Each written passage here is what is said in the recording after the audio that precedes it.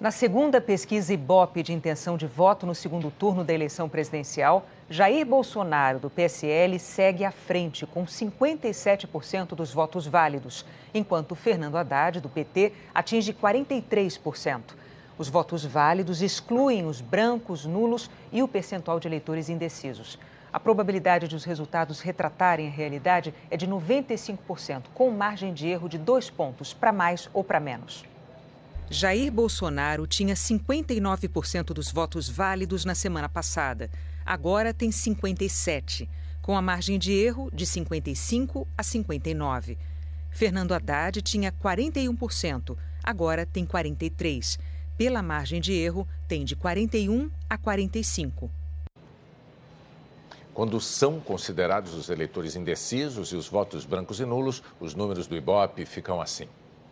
Jair Bolsonaro, do PSL, tinha 52% das intenções de voto, agora tem 50%, pela margem de erro de 48% a 52%. Fernando Haddad, do PT, tinha 37%, agora manteve os 37%, com a margem de erro de 35% a 39%. Votos brancos e nulos somavam 9% e agora são 10%. Os que não souberam ou não responderam eram 2% e agora são 3%. O Ibope também pesquisou o potencial de voto e a rejeição. O Instituto apresentou aos entrevistados cinco alternativas e perguntou qual delas descrevia melhor a opinião sobre cada candidato. Na semana passada, os que disseram que com certeza votariam em Bolsonaro para presidente eram 41%. Agora são 37%. Os que afirmaram que poderiam votar nele eram 11%. Agora, 11%. Os que declararam que não votariam em Bolsonaro de jeito nenhum eram 35%, agora são 40%. Os que afirmaram que não conhecem o suficiente para opinar eram 11%, agora 11% de novo. E os que não souberam ou preferiram não opinar eram 2%, agora 2% de novo.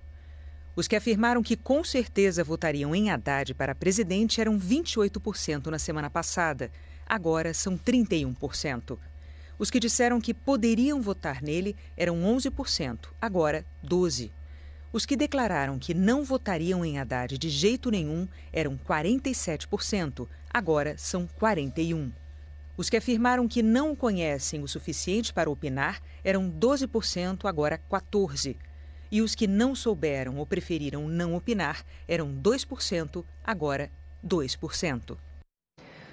O Ibope entrevistou 3.010 eleitores de anteontem até hoje. O levantamento foi contratado pela TV Globo e pelo jornal O Estado de São Paulo.